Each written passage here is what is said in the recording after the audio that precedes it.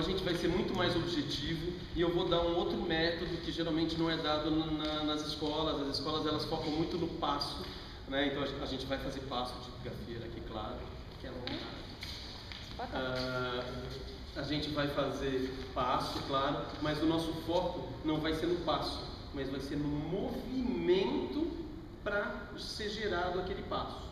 Tá? Eu vou ser mais claro depois sobre isso. Então a gente vai ter, eu vou, eu vou mostrar para vocês da onde começa o movimento e por que, que a gafieira é diferente do, das outras danças, tudo direitinho a gente vai, vai explicar. E eu quero, principalmente nesse começo, vai ser um pouco mais devagar o negócio, exatamente por causa disso. Quero mostrar para vocês ensinar para vocês o movimento da gafieira, o movimento básico, para onde, por onde a gente começa esse movimento, para que depois, quando vier o ensino do passo, vocês já sabem que o passo tem que ser feito com aquele determinado movimento. Tá? E eu quero também mostrar, e todos os dias na aula também eu vou mostrar para vocês, vou encher o saco dos meninos, das vou encher mesmo. Tenho certeza que os meninos vão para casa, às vezes ouvindo eu falar, pega direito na menina, pega direito na menina, porque tem um jeito certo de você pegar a menina tem um jeito certo de se posicionar para o cavaleiro, e isso tudo é muito importante vocês pegarem, eu pegaria no pé de vocês desde o começo, para que vocês entendam que você está dançando com uma outra pessoa, aquela outra pessoa precisa do seu comando, e inclusive a menina precisa passar a resposta ao comando dos meninos corporalmente também. Então, tudo isso em todos os passos, não existe passo que não exista essa interação. Então, essa interação eu vou pegar muito no pé de vocês para que tenha essa interação. Tá? Uh, uma coisa que eu sempre falo é que a gente, quando a gente está começando a aprender, a gente passa sempre por três fases de, de aprendizado. Um é quando você está dançando com o passo.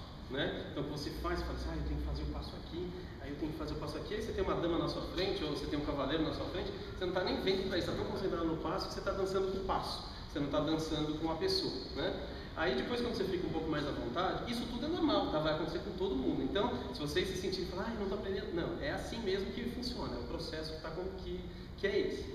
Aí o segundo passo qual vai ser? Vocês vão dançar com uma dama. Que aí vocês têm aquele negócio de você falar, ah, eu sei o passo, agora eu vou conduzir ela direitinho e ela vai responder ao seu comando, aí você já está dançando com ela. E o terceiro e o melhor deles todos é que quando você não dança mais com a dama, mas você dança para a dama, ou a menina dança para o cavaleiro. Ou seja, o prazer de você dançar aqui, quando você está dançando com a dama, você tem um prazer seu de estar tá conseguindo comandar ou de você estar tá conseguindo, ou da menina conseguir responder. Quando você dança para a dama, você dança com a tentativa de dar o prazer à dama, ou a dama dá o prazer ao cavaleiro de estar tá dançando com, com a dama. Então, você fala assim, não, eu quero dançar porque eu quero que aquela pessoa sinta prazer em dançar comigo. Então, é uma coisa que aí eu estou, vocês estão chegando aí. Eu quero até o final do ano que vocês cheguem nesse estágio. Vocês, a, a, maioria das pessoas que fizeram ano passado chegaram nesse estágio. Tanto que algumas pessoas até comentavam com elas, assim, ah, está fazendo aula do cantinho, né? É porque, ah, porque já tem aquele jeito de dançar, e é isso aí, tá? Então, como é que funciona o negócio? Ah, ah, o que, que é esse negócio de ensinar o movimento e não o passo? Então, por exemplo, tem um passo na gafieira que ele chama trança, que eu acho que a gente não vai conseguir ver, mas é só como, como exemplo. Que é você ter a dama aqui na sua frente, ou o cavaleiro na sua frente, você alterna um lado com ele para o outro. Só que o passo, o que, que acontece? Eu tenho que chegar aqui e depois eu tenho que chegar aqui. Só que eu posso fazer isso assim, ou eu posso fazer isso assim. Qual que é mais bonito? Olha o que vocês vão responder, que é o que eu vou ensinar para vocês falarem que é mais bonito. Assim ou assim? Qual que é mais bonito? E o que, que tem de diferença? Eu não estou chegando com o meu pé aqui e não estou chegando com o meu pé aqui. Esse é o passo, não é? Eu estou chegando com o meu pé aqui. Só que um, eu chego aqui. Cheguei no mesmo lugar, só que eu tenho um movimento até concretizar esse passo. É esse movimento que eu quero ensinar para vocês. Tá certo? Então, é o movimento que vale e não o passo. O passo, a gente pode dizer, né? O Robocop faz isso também. Tá? Mas a gente tem um movimento, que é o que a gente vai ver. Tá? Então, eu quero que vocês entendam os detalhes desse movimento, as curvas desse. Eu estou vendo aí que está todo mundo de tênis, ah, as meninas principalmente. Pode vir de sandalinha, com o dedinho para fora? Pode. É bom? Não. Tá? Por quê? Porque eu já vi muita unha ser arrancada fora, de dedão principalmente. Tá? Não quero assustar, mas eu estou assustando, né? É, porque veja só, os meninos estão aprendendo agora. Então ele pode chegar a dar um passo maior, um passo menor, e esse passo maior pode ser passar o dedão uma unha sair voando. Não, já, não vi uma só unha sair voando, não, vi várias. Tá? Então, se vocês puderem usar um sapatinho mais fechado, no começo principalmente, ótimo, melhor. Tá?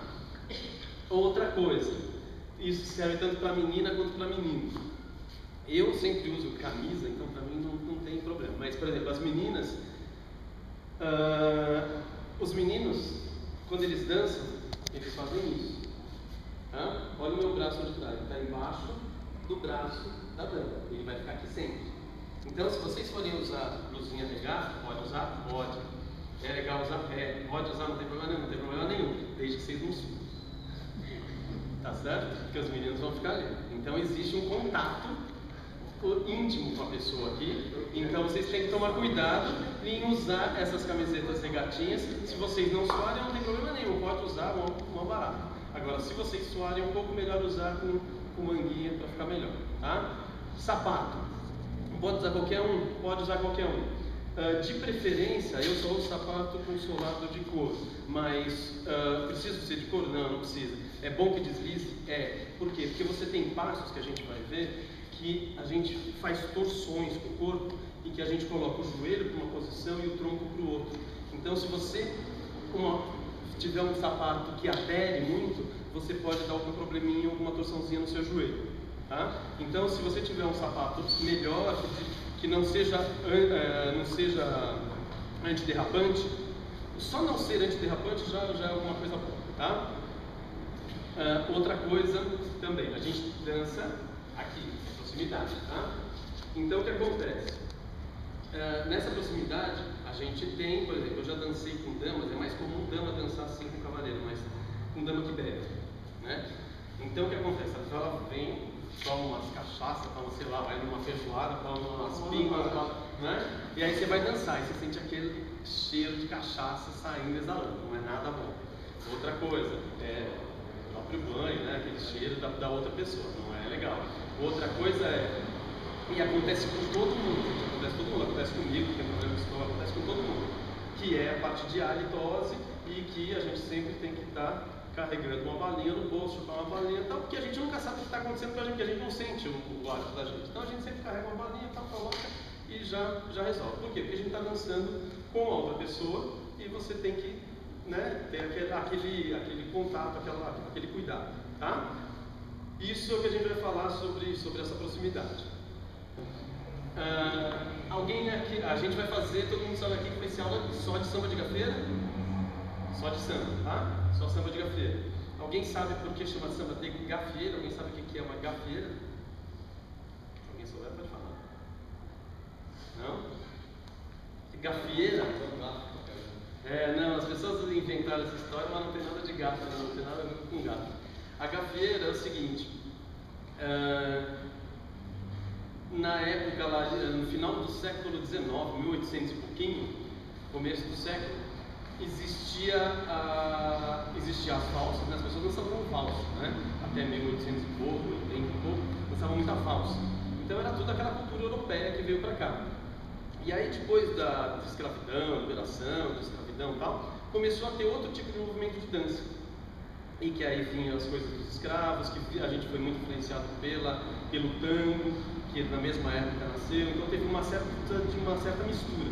E aí começou a ficar muito vulgar o negócio. Então era no tango, inclusive, dançava homem com homem, uh, e era coisa muito do machixe naquela época, então saiu de uma coisa que era valsa, que era uma coisa toda rebuscada, para uma coisa bem mais chão, uma coisa mais africana, né? mais chão, que a dança, todas as danças africanas são dançadas para o chão, então era uma coisa assim, e começou a vulgarizar, então começou a ficar tudo com movimentos muito vulgares né, de dançar, e aí você não podia levar família, não podia levar filha, não podia levar nada, o que antes você conseguia numas valsas, aquelas coisas. Então, o que acontece? Inventaram-se as gafieiras. As gafieiras eram, eram lugares em que tinham estatutos, que tinham regras. Então você não podia fazer determinadas coisas. Então você tem algumas gafieiras, tem até uma música do, acho que é do Branco, que fala sobre isso, que não pode dar um bigarro, que é aquelas coisas, né, de, de fazer assim, né, não pode Uh, você não pode dançar homem com homem, dançar mulher com mulher. Você tem um sentido para rodar no salão. Você não pode fazer frequentar sem pagar, uh, não pode dar calote, não pode não sei o que. Então tem toda uma, uma regra. Então toda gafieira vem de uma regra que a primeira regra da gafieira é respeito. É respeito. Então tudo que a gente for fazer aqui, sempre, e é, como é de gafeira, sempre vai ter que ser sempre visando o respeito. Ponto. E, e o que, que, é respeito? Por exemplo, se eu estou dançando com uma dama aqui, eu estou dançando aqui, eu estou respeitando a dama? Estou? Se eu estiver aqui, eu estou respeitando a dama? Proximidade não quer dizer desrespeito. Até mesmo porque tem passo que se eu não fizer grudado, se eu estiver aqui à distância e tentar fazer esse passo, eu acabo com as costas da menina. Eu tenho que estar aqui para poder fazer esse passo. Tá? Então, mas eu não posso pegar e ficar fazendo determinados movimentos que desrespeite a dama. Outra coisa que desrespeita a dama, eu estou dançando com ela aqui e fico falando besteira na orelha dela. Tá? Ou, não, como já aconteceu com uma menina comigo, que vem aqui e fica falando besteira e beijando meu ouvido. Certo? Não pode acontecer. Tá? Então não pode acontecer, não vai acontecer. Tá? Não vai acontecer. Se acontece é uma vez só, ninguém faz mais alto. Tá? Então é isso. Então, é, depois quer conversar com a menina lá fora, ou quer conversar com o cara lá fora, vai lá fora e conversa com o cara. Aqui dentro não, tá? Mas a gente vai ter proximidade, o que não é desrespeito. Mas se ou a distância ou próximo tiver alguma coisa meio desrespeitosa, tá fora, tá? Não existe essa possibilidade aqui. Uh, outra coisa. Uh,